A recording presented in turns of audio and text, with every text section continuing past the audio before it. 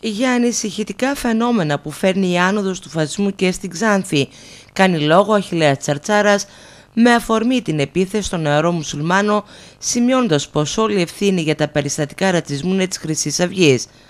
Παράλληλο, ο γραμματέας της Νομαρχιακής Επιτροπής Ξάνθης του Πασόκ εκφράζει την ελπίδα ότι οι ψηφοφόροι της θα δουν το πραγματικό πρόσωπό της και θα την αφήσουν εκτός Βουλής. Αν θυμάστε και πέρυσι ακόμη λίγο πριν τις εκλογές, το είχα πει επανειλημμένα και τότε ευχόμουν να διαψευστώ βέβαια, αλλά δυστυχώς επαληθεύουμε.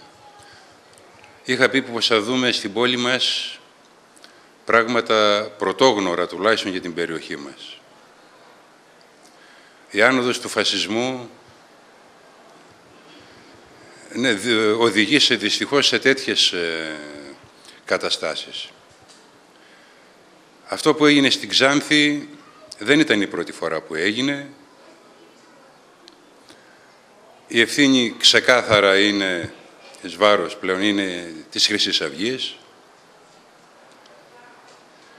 Η άνανδρη επίθεση τόσων ατόμων σε ένα νεαρό μουσουλμάνο δείχνει και την ποιότητα αυτών των ανθρώπων και πώς σκέφτονται. Δείχνει πόσο ρατσιστές είναι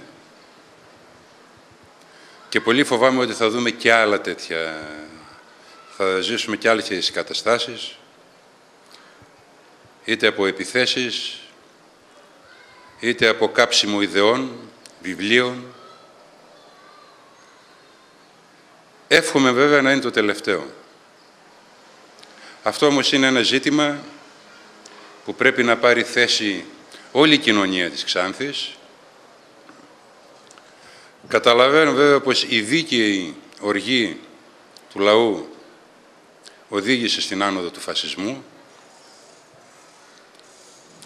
αλλά αυτοί που, την, που στηρίξανε αυτή τη Χρυσή Αυγή, ε, τους ζητώ πραγματικά να δουν το πρόσωπό της. Πιστεύω να το κατάλαβαν.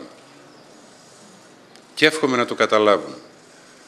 Εκλογές δεν ξέρω πότε θα έχουμε. Εύχομαι όμως η Χρυσή Αυγή τότε, αφού πάρει τα μέτρα της η ίδια η κοινωνία, να είναι εκτός Βουλής. Ακόμα ο κ. Τσαρτσάρας στάστη υπέρ της ανάληψης πρωτοβουλειών κατά των ακροδεξιών φαινομένων στο πλαίσιο του κειμένου που είχε υπογραφεί το καλοκαίρι, όπως προτείνει η Δημοκρατική Αριστερά. Μην ξεχνάτε πως το καλοκαίρι είχαμε υπογράψει ένα κείμενο όλα τα κόμματα. Είχαμε αντιληφθεί, σας είπα και πιο νωρίς, από τότε που οδηγούνται αυτοί οι άνθρωποι. Βέβαια ένα κείμενο απλό πλέον δεν φτάνει, έτσι. Ήταν όμως, έτσι το πιστεύουμε εμείς τότε, ένα μέσο η επιστολή εκείνη για να αφυπνιστεί η κοινωνία. Πρέπει να ληφθούν άλλου είδους μέτρα και συμφωνώ ναι, με την ε, δημοκρατική αριστερά πάνω σε αυτό που είπε, συμφωνώ, συμφωνώ απόλυτα. Και μάλιστα θα πρέπει να βρεθούμε όχι μόνο με τη δημοκρατική αριστερά, έτσι, και με φορείς ε, για να δούμε πώς θα το αντιμετωπίσουμε και τι μέτρα θα πρέπει να πάρουμε. Δεν μπορεί σε αυτή την εποχή πραγματικά ε, να βιώνουμε καταστάσεις ε, οι οποίες σε άλλες εποχές τις ζήσαν οι μεγαλύτεροι από εμάς στην εποχή του Μεταξά ε, και είναι πραγματικά ε, λειτουργία αυτού του κόμματος δεν διαφέρει σε τίποτα από το Χίτλερ. Σε τίποτα. Πρέπει να πάρουμε τα μέτρα. Στο μεταξύ, σε ανακοίνωσή της, η Νομαρχιακή Επιτροπή Ξάνθης του ΚΚΕ καταδικάζει την απρόκλητη επίθεση από φασιστοειδή της Χρυσής Αυγής, όπως σημειώνει, σε μουσουλμάνο συντοπίτη μας στην κεντρική πλατεία της Ξάνθης. Η δικαιολογία των τραμπούκων που αναδεικνύεται και από τα τοπικά μέσα μαζικής ενημέρωσης ήταν ότι τόλμησε να μιλήσει στην πομάκικη γλώσσα.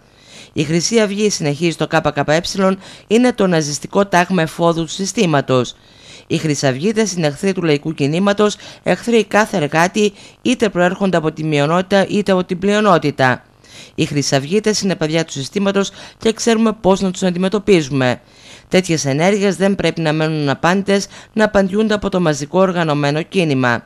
Τέλος, το ΚΚΕ καλεί όλο το ξανθιώτικο λαό να τους απομονώσει, να ξαναλουφάξουν στις τρύπες τους όπου ήταν κρυμμένοι για δεκαετίες.